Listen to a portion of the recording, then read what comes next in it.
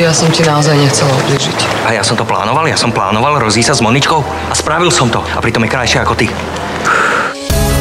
Dvaja muži pobili sa v práci, tento preletel cez sklenené dvere. Idem s tebou. Nejdeš.